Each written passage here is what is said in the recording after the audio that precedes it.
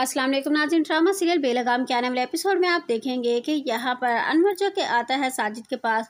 साजिद कहता है कि हाँ अनवर बोलो तो अनवर कहता है कि, भाई साहब, मैं आपके जवाब का इंतज़ार कर रहा हूँ और मैं उम्मीद करता हूँ कि आप मुझे मायूस नहीं करेंगे। पर साजिद साहब जो कि कहते हैं कि, देखो अनवर, मियाँ, तुम तो जानते हो कि मैं कभी भी ऐसा कोई फैसला नहीं कर सकता और वैसे भी रमशा मेरी एक लोती बेटी है। अगर उसकी ही रजामंदी नहीं होगी तो फिर मैं ये फैसला कैसे कर सकता हूँ? अनवर कहता है कि, क्या मतलब है? आपने रमशा से बात की है इस बारे में? साजिद कहता है कि हाँ लेकिन रमशा इस रिश्ते से राज़ी नहीं है। जिस पर आप देखेंगे कि अनवर कहता है कि भाई साहब, आप तो जानते हैं कि आजकल बच्चों की जहनीत कुछ और है।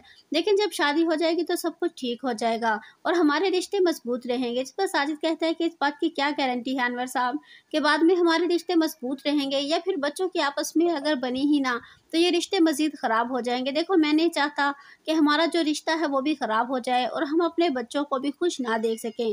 दूसरी तरफ़ आप देखेंगे कि यहाँ पर शहनाज, सॉरी, महनाज जो के कहती है कि देखो, मुझे तो समझ में नहीं आ रहा सलमा कि आखिर क्या है। सलमा कहती है कि देखें भाभी, आपको मुझसे शर्मिंदा या परेशान होने की ज़रूरत नहीं।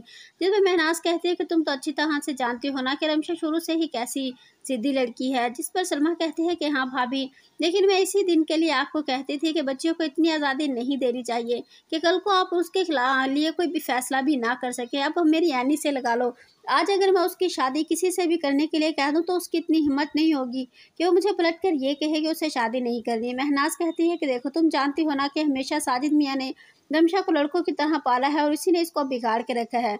महनाज कहती है कि प्यार अपनी जगह है, लेकिन तरबियत तरबियत माँ का हिस्सा होती है। महनाज कहती है कि ठीक है, लेकिन तुम परेशान ना होना, हमारे रिश्ते पे कभी भी किसी बात से कोई फ़र्क नहीं पड़ेगा। सलमा कहती है कि अरे नहीं भाभी, ऐसी कोई बात नहीं है। मैं अच्छी तरह से जानती हूँ कि आप और भाई खुश थे, लेकिन अगर रमशा ही राज़ी नहीं है और वो आपकी इकलौती बेटी है तो फिर आप लोग इस रिश्ते से कैसे मुतफिक हो सकते हैं? ये सब देखेंगे आने वाले एपिसोड में। वीडियो अच्छी लगी हो तो लाइक कर दीजिएगा। फिर मिलते हैं। इजाज़त दीजिएगा।